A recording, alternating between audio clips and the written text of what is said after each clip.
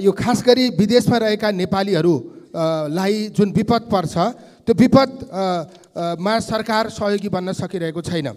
यो केही एक हप्ता अगाडिको विषय हो। मलेसियामा रोजगारीका निम्ति गएका एकजना एमलाल परिवारको मृत्यु भयो।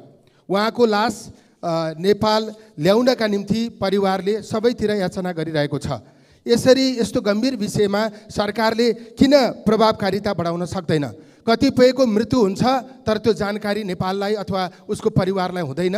कतिपयको मृत्यु भएको वर्षौँपछि मात्रै जानकारी हुने स्थिति भएको छ।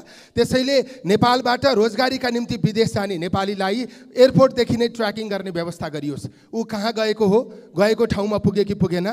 त्यहाँ गएर सम्झौता अनुसार उसले रोजगारी प्राप्त गरे कि गरेन? काम गर्ने सन्दर्भमा ऊ बिरामी भयो कि? अथवा कुनै दुर्घटनामा पर्यो कि? कुनै विपदमा भवितव्यमा पर्यो कि? त्यसको ट्र्याकिङ गर्ने व्यवस्था सरकारले गर्न जरुरी छ। सरकारले परराष्ट्र मन्त्रालयमा सम्बन्धित देशको दूतावासमा श्रम मन्त्रालयमा सबैतिर यस सम्बन्धी सहयोग गर्ने डेस्क निर्माण गरोस्। यो भयावह स्थिति छ। सबैको कुरा सतहमा आएको छैन।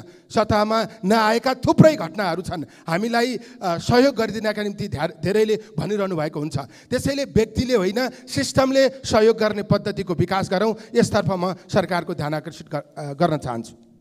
मान्य सदस्य Shri Thank you for watching the video. Don't forget to subscribe the channel.